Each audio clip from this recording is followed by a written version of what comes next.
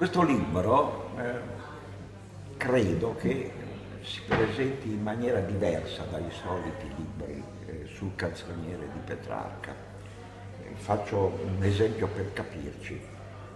In genere a scuola, all'università, si studia Petrarca perché è un grande stilista, perché Petrarca ha influenzato tutta la poesia italiana ed europea dopo di lui e quindi eh, Petrarca si porta dietro tutta una serie di osservazioni di carattere linguistico, stilistico, metrico e così via. Cioè una vera e propria palestra di analisi formali. Beh, io ho fatto una scommessa con me stesso.